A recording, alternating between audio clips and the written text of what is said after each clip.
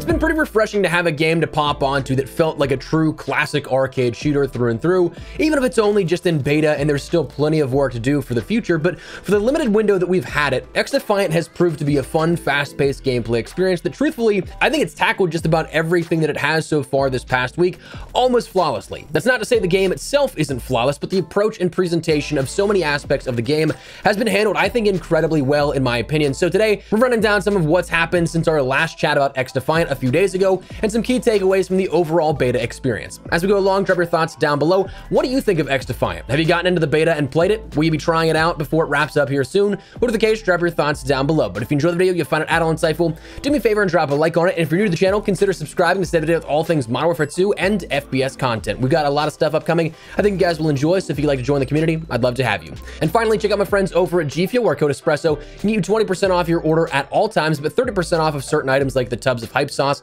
and Starfruit for the month of April, but more on them a little later. For now, let's take a look at some XDefiant. So first and foremost, one thing that's definitely noteworthy and that I think you guys should know about is that the beta itself was extended, whether for additional playtime or to make up for time that may have been lost because of server issues, instability, and other stuff like that from the very beginning. Whatever the case may be, the official XDefiant account went ahead and announced, we've heard the request and are extending the closed beta for an additional 48 hours. The closed beta will now end on Tuesday, April 25th at 11 p.m. Pacific time. Be sure to get those extra matches in and let us know your feedback. So right off the bat, absolutely love that. Give more playtime to the player, allowing them more opportunity to test your game out, to give that feedback into just overall just experience the game communally, sharing those experiences with the community you're trying to build up. And again, we don't know if that's something that is based off of the server instability, the problems that were present day one, two, three, four, whenever, or if it's just something that they wanted to go ahead and it was planned from the very beginning to be extended all the time. That's something we don't quite know. The only thing that I wish they would kind of extend upon this is making it a little bit easier for registration, if not making it open for like the last day or so here. If you really want to get the most test out of it, yes, there may be some server stress, but I think that for whenever you end up launching to free to play to begin with, having that idea of what kind of player base you'll end up seeing an influx in player count might actually be pretty helpful. But I mean, that's not something that's in the cards right now, but you can end up jumping in. You can still end up registering for it right now and getting in on the action on whatever platform you want to be on. But as of the last discussion that we had here, they've added quite a bit in regards to stuff that's pretty cool, if you ask me.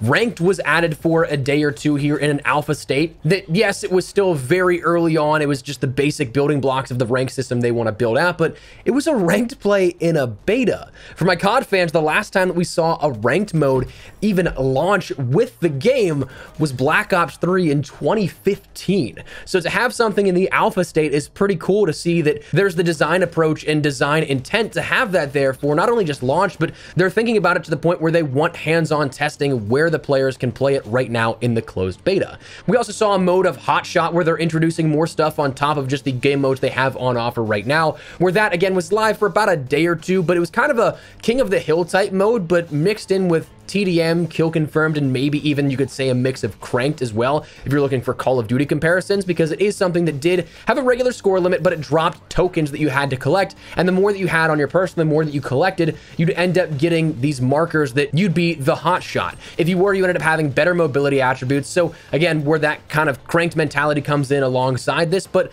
again, a cool little mode that they were experimenting with, playing around with, that was just thrown in for the beta for players to experience. We saw progression re-enabled, which was while kind of weird, it was nice to showcase not only just all the guns available because ranking and progression was busted earlier on, but to now see that progression system and how we'll see a sort of relative understanding of how fast the progression is, where that progression unlocks certain items and all things considered. While it was weird to go back and forth between that, it is something that they're testing now, kind of a little bit of everything, giving you the opportunity earlier to have the ability to play with everything or versus now having the ability to actually rank up and see how the progression itself works. And since our last chat, there's been plenty of different fixes made. We have classes now saving properly, again, progression working properly. I will say netcode and server fixes, while they have adjusted and added more to this, where they've made some beneficial changes, there definitely still needs to be work done. I'm still dying around corners plenty of times, still having what I feel like not necessarily the best registry, but I mean, that's again, it's a beta and it's something that they acknowledge it's not going to be perfect within this, but they can tweak it to make it a little bit better for the experience now, but come forward full launch, that's when we'll see the bigger adjustments to that netcode and server fixes.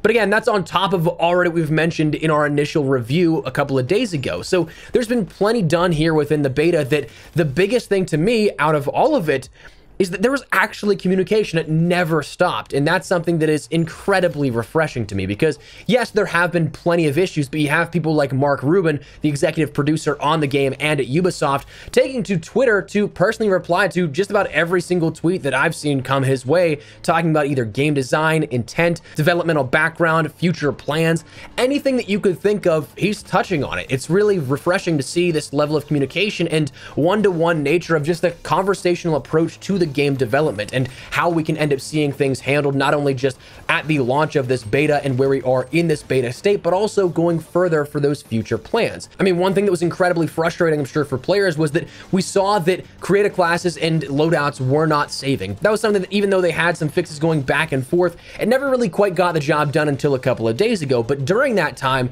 Mark Rubin even said, hey, listen, like we can do this very easily with a patch, but we're going to try and make it so that we can refrain from having people have have to download stuff and just it's a server side thing at that point. Which, yes, it took a little bit more time, but it was something that saved the player a little bit more time as a result. So a trade-off there of one-to-one, -one, however you see that subjectively, but the communication was what was beautiful because to an average player, seeing that a fix has gone out, but it didn't actually fix it, hmm, might be looking at you, Call of Duty. It's incredibly frustrating to see that kind of stuff happen, but to have a developer comment on why that's happening and how a fix is indeed coming, that's just, again, reassuring to the player itself. And that's just like the tip of the iceberg with all this kind of stuff. Coming back to it, like I said, he and a lot of the other developers on this have been talking nonstop here on social media about this. There's so much communication that even I'm having a hard time keeping up with it. And that's one of the craziest things imaginable to me. Because, like, I mean, my job is to be in tune with FPS games now at this point, transitioning out of just Call of Duty.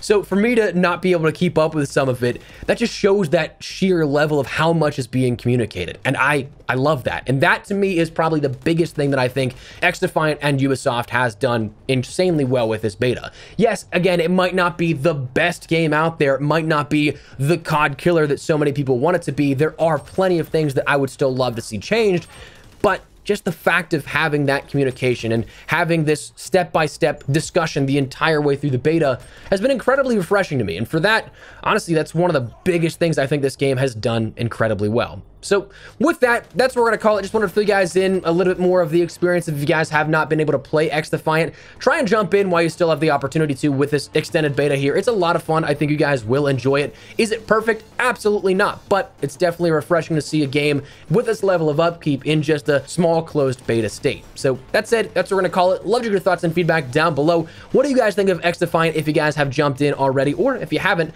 do you guys plan on doing so? Whatever the case, drop your thoughts below. Before we wrap everything up, make sure you check out my friends over at G Fuel. Code Espresso get you 20% off everything normally, but again, things like Hype Sauce, Starfruit, special items like that are 30% off for the month of April. Linked down there in the description below if you guys would like to learn more. Cup of G Fuel is like my cup of coffee in the morning, so tons of flavors that I would recommend. Hype Sauce and Starfruit, two my personal favorites. Recommend those any day. So if you guys would like to check that out, use code Espresso, link in the description below. But for now, that's what we're gonna call it. Drop your thoughts below. If you enjoyed the video, found it at all insightful, do me a favor and drop a like on it. And if you're new to the channel, consider subscribing to stay updated with all things Modern Warfare 2 and other FPS titles here upcoming. But for now, thanks so much for watching. Well espresso. I'll see you guys later. Take care and peace.